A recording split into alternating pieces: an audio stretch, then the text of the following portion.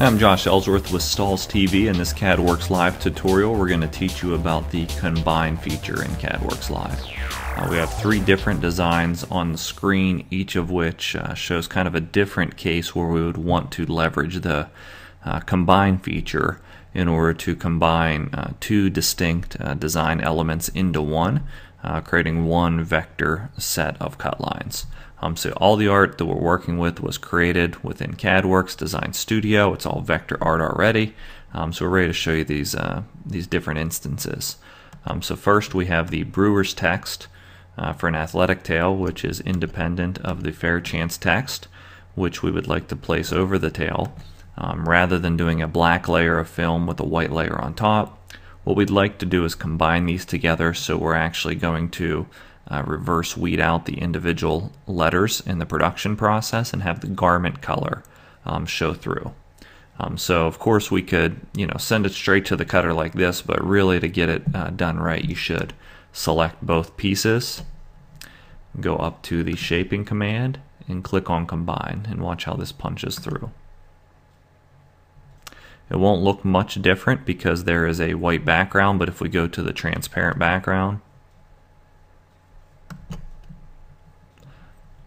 You can see now when I zoom in on this particular design that you're getting the transparency through, which would show the garment uh, through once you cut this and heat apply it. Uh, let's show another example. Um, in this case, we have the football clip art, which we'd like to drop the individual player's number into. Um, and also, uh, once again, create garment show through. So I'm going to select both uh, distinct design elements by drawing a box around both.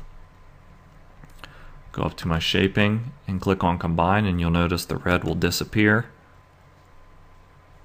We'll punch through the helmet and if I zoom in on this one you'll see once again the garment's going to show through. I'll just reverse weed the 2 and the 5 and this is one um, total design uh, sizing and moving as one now rather than two distinct elements. And for the last example, we have a badge here that we're going to do something a little different.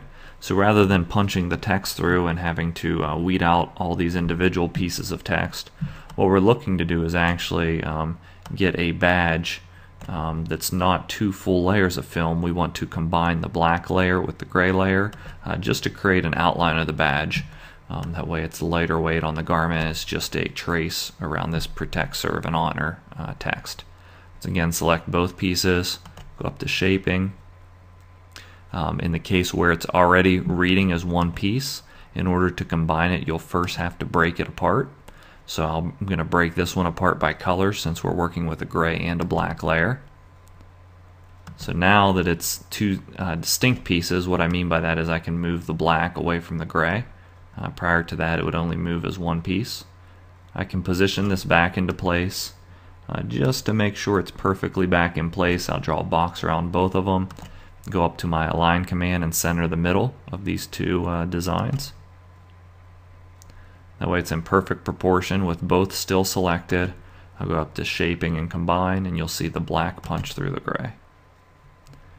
And I get a perfect uh, shield outline. At that point I'm ready to um, drop my text back in the center and either cut my two color design or I can change this to the same shade of gray and have a single color design that's ready to cut and heat apply onto the shirt. This has been a CadWorx Live tutorial by Stahls' TV. Thanks for watching.